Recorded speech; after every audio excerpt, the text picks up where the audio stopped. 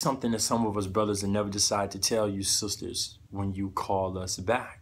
See, when you call me back, although you may be interested in another individual, you still have some interest about me as well. See, if I never even initially pick up the phone and call you and you see a missed call, but I text you and say, call me, I'm really not trying to get in touch with you, love. I just want to see if you're still interested in knowing what I have to say or what I may need to talk about. But see, my interest and my curiosity only spikes when I see that you're doing something different, when I see that a new man has come along and treated you better than what I would have ever have. See, this new individual in your life, he may love you, he may respect you, he may want to build with you, but see, me, I only enjoyed the benefits of love, not actually the commitment and the dedication and sacrifices that love actually required. See, I didn't want to commit to you, but I did want to commit to the sex. I did want to commit to the benefits as far as coming home, having somebody to do for me, having somebody to make sure that things are provided in the woman's sense, right, of equality. But I never wanted to reciprocate that. So that's why God opened your eyes and took you away from me. Now, I'm not really missing you too much. I really could care less about your ass. But see, that strokes my ego to know that if I text you, call me, and I haven't even initiated a phone call to you, and you decide to call me, that I somewhat still have a little bit of power over you. See, the other man in your life may not know about me because you don't want to bring me up. You don't want to tell him about everything that we have been through and how I did you wrong because you don't want him to feel insecure about me the man on the other side of the telephone line versus when you're driving in the car when you're at the mall and I'm texting you trying to get your attention.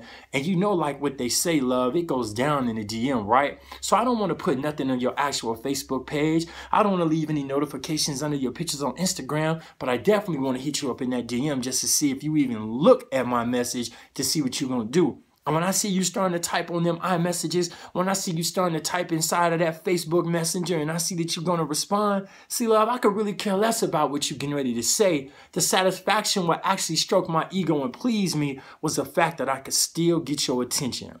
But see, what you don't know, sister, is, is that I still have power over you.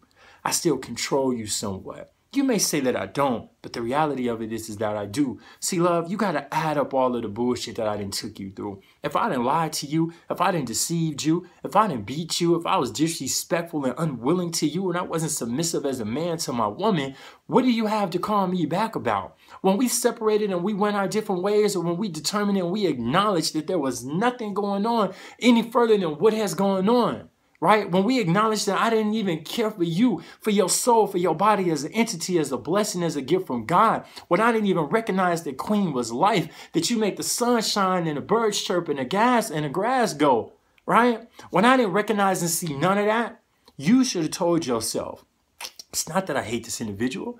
It's not that I don't care about this man, but this man don't care about me.